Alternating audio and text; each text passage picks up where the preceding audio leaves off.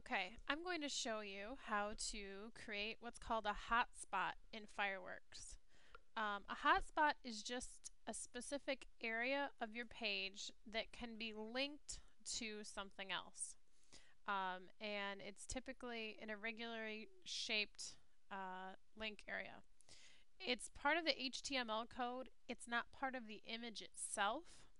There actually isn't really a use for it when you're in Fireworks, but it would be used later when you export your work to Dreamweaver. Um, a hotspot will actually be on an image that sits, or on a layer that sits over your image, and you can turn it on and off while working to make it a little bit easier if you want to edit the image underneath. And um, also Dreamweaver can make hotspots, but you might find it a little easier to do in Fireworks. Alright, I'm going to go out to Fireworks now and show you how this will work.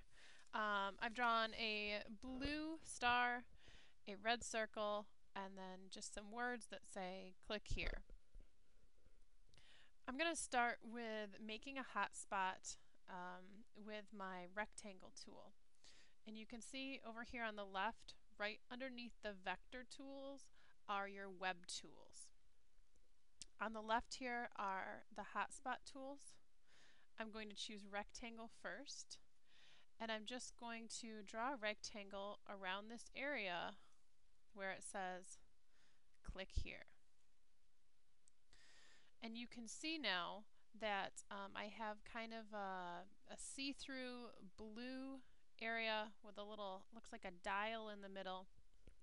That's actually my hotspot it's been created over the text so that the area around the text links, not just the text itself.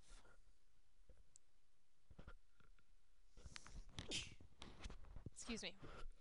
Um, I'm going to also show you how the circle hotspot would work. If I have a circular object that I want to link, I can use this tool. Might take a little uh, work to position it.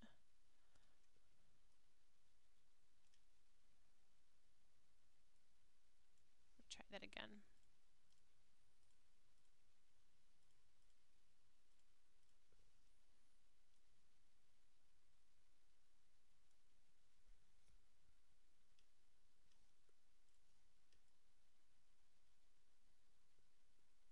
There. Doesn't really matter if it's irregularly shaped. Um, it doesn't cover all of your circle. What matters is that it covers um, the majority of the area. And as you're drawing, it can sometimes be useful to hold down control so you can move that circle around a little bit easier and um, change some of the properties of that circle, like making it bigger or smaller. Okay, finally, and this is probably the most useful one, is the polygon hotspot tool. This is what you can use to draw around very irregular shaped objects like my star. The way you use that is by using these little anchor points. And you start just by clicking around the object. And as you click, your hotspot starts to form. Again, it's not important that you get everything perfect. Okay? And when you close the circle then, you should have a hotspot You can see I lifted off my star there. It's approximately the same shape. Okay, so what I have now are three different hot spots. And as I said before, these are actually um, on layers. They're not on the image itself. There's a couple different ways you can turn this off. If you want to work with your image underneath and you don't want to get the hot spots in the way, you can turn it off over here by hiding them. Now they're on, now they're off. Or you can do it in layers on the right in the layers dialog box. I'm going to pull this out here so you can see it a little bit better. You can see there's a folder called web layer and in that folder I have each one of my hotspots. If I wanted to keep track of them a little bit better I could actually rename them. I could just call this star hotspot I'm just double clicking. Circle hotspot.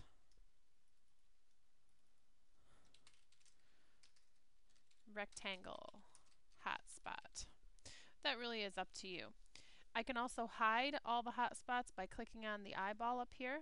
That hides the entire folder. Or I can hide individual hotspots by clicking on the eye next to them.